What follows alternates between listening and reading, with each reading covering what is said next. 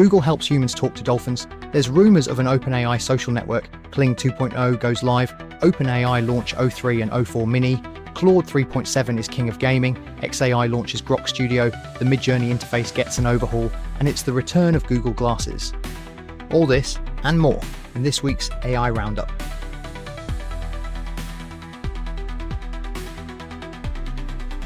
It looks like it's going to be another big week for model releases, and OpenAI has kicked it off in style by releasing GPT 4.1, which will be OpenAI's flagship model for complex tasks.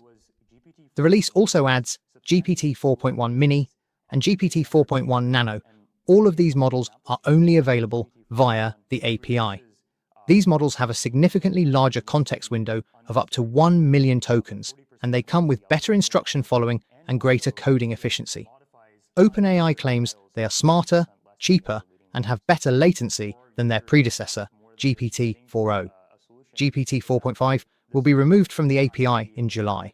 At this point, don't even try to make sense of the OpenAI naming convention.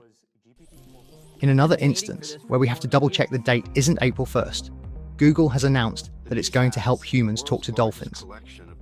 Google is working in partnership with the Dolphin Project and has developed Dolphin Gemma, an AI model aimed at translating dolphin vocalizations.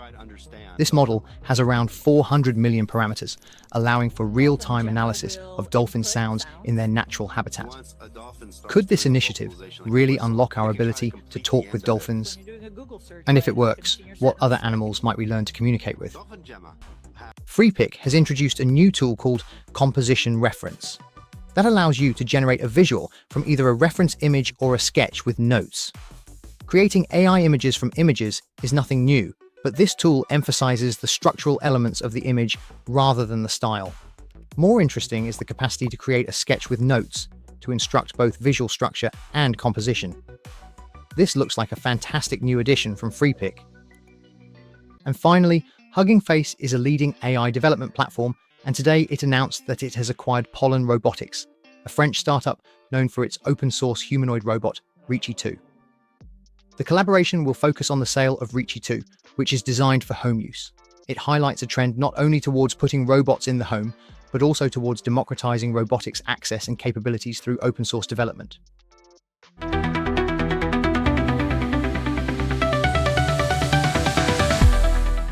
The Verge has reported that OpenAI is developing its own social network designed to compete with platforms like X. The project is said to be in its early stages, with an internal prototype that incorporates ChatGPT's image generation capabilities into a social feed. Is this a serious attempt to unseat X at the top of the social media news space, or just part of the Elon versus Sam beef? Regardless, it will be interesting to see what OpenAI can produce.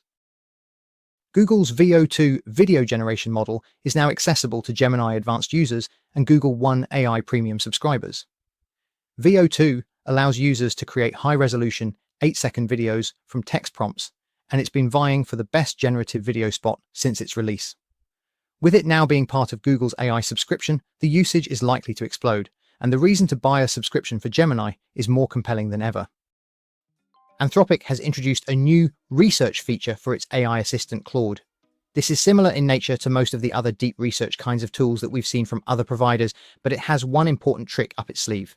As well as the usual web access, Claude's research tool can also access information from the user's Google Workspace, including Gmail, Calendar, and Docs.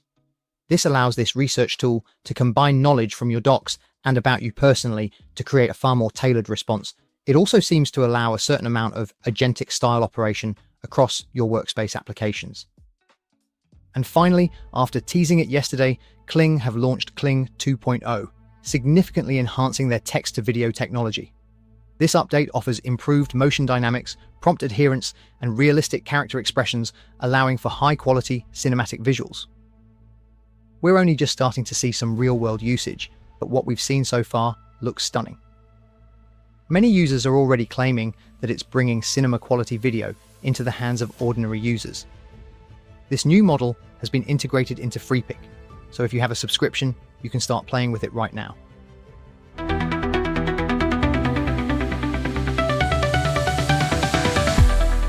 Today, OpenAI released two new models, O3 and O4 Mini, which are now their flagship reasoning models.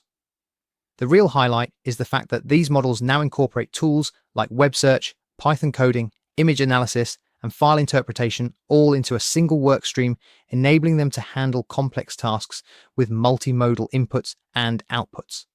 The image interpretation is particularly impressive as it not only deciphers the image, but is capable of using the information contained within the image as part of its reasoning. As expected, O4 Mini will bring slightly reduced capabilities, but with greater speed and cost effectiveness. These models will of course deliver some great incremental gains on the various benchmarks, but it's their capacity to be more general across their inputs and outputs that will make this a step change in AI models. OpenAI also launched a new feature for ChatGPT called the Image Library, enabling users to manage all their AI generated images in one place. This feature is now available to free, plus, and pro users on both mobile and desktop. As models get more serious at producing assets like images and video, these kinds of organization and filing tools will become more and more critical. In more OpenAI news, reports have emerged that they are currently negotiating to acquire Windsurf, the AI coding tool that has become a fan favorite and the major competitor to Cursor. It's said that OpenAI is looking to acquire Windsurf for approximately $3 billion. If this goes through, then it will be an incredibly powerful combination. Earlier in the day, XAI announced Grok Studio, a rival to the Canvas style tools that we see available in other models like Gemini and Claude. The Studio option allows real time collaboration on documents, code, reports, and of course, any games that you vibe coded.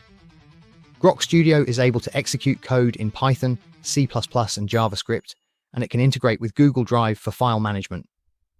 Gemini's Canvas has been very well received since launch.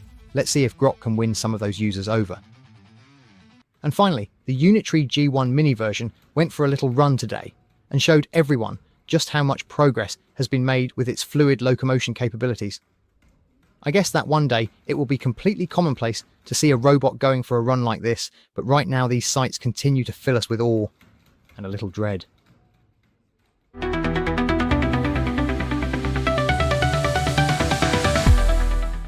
Grok now has a memory that will remember all of your past conversations. This update allows Grok to provide tailored recommendations and advice based on the user's previous chats. Users will have control over their data, with options to view, edit, or delete conversation memories. Memory is another one of those features that's set to become ubiquitous amongst LLMs. Grok has also added workspaces. This allows users to organize conversations and files all in one place. This means that users can return to a workspace to continue an ongoing conversation or piece of research without losing all of the previous context.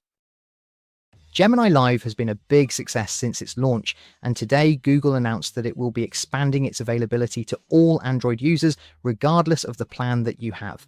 So it's now free for everyone. If you haven't tried Gemini Live yet, if you have an Android phone, now is your chance. It's a really impressive tool, and the more you use it, the more uses you can think of for it.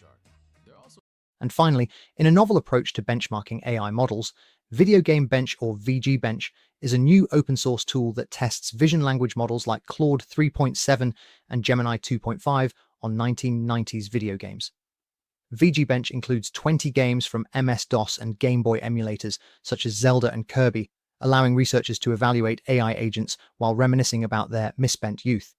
In this round of testing, the winner was Claude 3.7, as it advanced furthest in Doom by reaching the Blue Room. So Claude 3.7 is the best gamer out of all the LLMs, and you won't find a cooler claim than that.